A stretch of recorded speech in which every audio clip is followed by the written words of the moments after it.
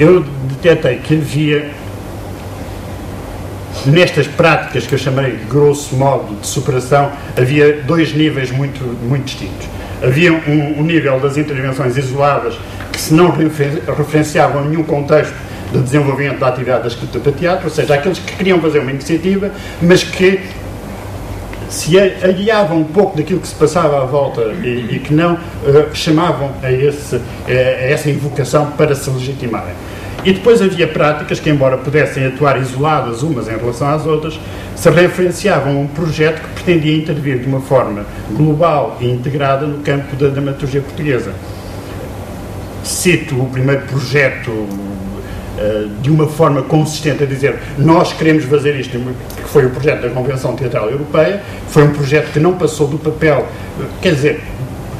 teve pouco desenvolvimento concreto, mas que foi o primeiro projeto que veio dizer uh, que tinha uma perspectiva integrada com as várias áreas de intervenção. O projeto dos Artistas Unidos, que ainda hoje é um, é um, é um caso de estudo importante para, para se perceber como é que uh, todas estas dimensões uh, surgem mais ou menos articuladas, com menos Uh, muitas vezes com alguns desequilíbrios na, na, e penalidades nas formas como são desenvolvidas. O projeto da, da, da, da Companhia de Teatro Efêmero, com dois projetos, Fronteiras e Cenas de Amor e Guerra, o Círculo Dramatúrgico de Barraca também. E uh, para quem já estivesse tão, tão, tão entusiasmado com estas coisas, de repente aparece o quê? O Dramat, que era um projeto que de uma forma clarividente e nos finais dos anos 90 vinha resumir tudo isto. Então era, era, era a delícia de, de, de, de quem estava a, a, querer fazer um trabalho destes, encarar esta, de repente parecia que o Estado tinha aprendido a lição com as iniciativas dos vários projetos que tinham andado pelo terreno de uma forma desconcentrada, não sei se já estou, uh, os vários projetos tinham andado por uma forma desconcentrada e de repente o Estado, através de um projeto sediado no Teatro Nacional São João, no, o, o, o Dramato, dirigido pelo Fernando Moro Ramos, uh, vem assumir de uma forma uh, declarada, eles dizem queremos fazer isto, vem assumir a montagem de textos, montam Arranha-Céus, a Supernova do Abel Neves, o Arranha-Céus era do João Jacinto Tudo Caspias, fazem edição dos textos, com a edição de Cotovia e outros, fazem seminários de experimentação, fazem formação, formação, por exemplo, fazem viagens sobre a dramaturgia com o José Fedanam, com a Helena Sarodo, com o Paulo Eduardo Carvalho, entre outros, e fazem uma verdadeira internacionalização do projeto. E chegamos a, a, ao princípio dos anos 2000, que é aquele em que eu vou situar a minha investigação para uh, doutoramento, e vemos que este, deste projeto não existe rastro nenhum, senão na nossa saudade, uh, que é um sentimento também muito típico para um investigador,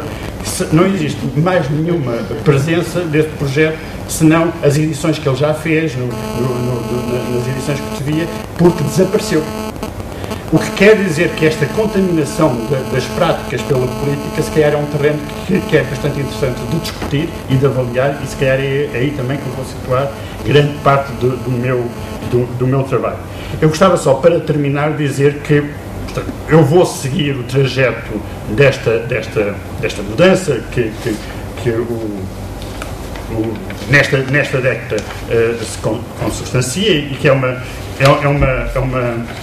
é uma, é, é, é uma mudança bastante significativa na forma como, por exemplo, uh, nos vários eixos, desde a investigação, desde a montagem dos textos, desde o aparecimento de autores, desde a forma até como já se avançou muito na discussão sobre o lugar do texto em relação ao próprio, ao, ao próprio espetáculo, uh, mas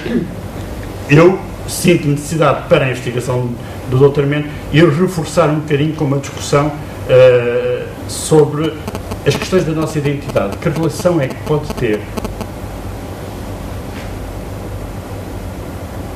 esta má relação que nós temos com a dramaturgia, que relação é que pode ter com a forma como nós nos criamos identitariamente uns diante dos outros. Há um estudo muito recente e que foi uma grande ajuda para a minha. Eu tive duas grandes ajudas para a minha investigação. Logo, no final dos anos, uh, no, no, no ano, do ano passado, o Teatro São Luís fez os encontros da nova dramaturgia, em que juntou uma data de investigadores, que eram, eu fui lá, ando lá com o gravador a gravar, tenho horas e horas daquelas conversas todas, e Mais recentemente, há cerca de 15 dias, o António Pinho Vargas lançou um, uma tese,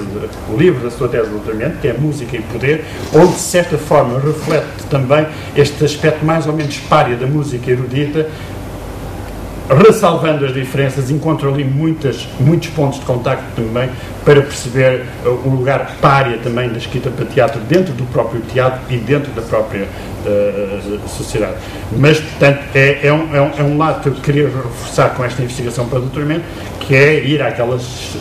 à, àqueles estudos do, do Eduardo Lourenço, do, do, do, do Zé Gil, sobre como é que nós somos e tentar aí uh, solidificar um bocadinho uh, esta análise para além de todo o trabalho que existe sempre de tentar, uh, de uma forma teórica, sustentar esta relação que existe entre o acto e a cena, que é uma relação muito uh,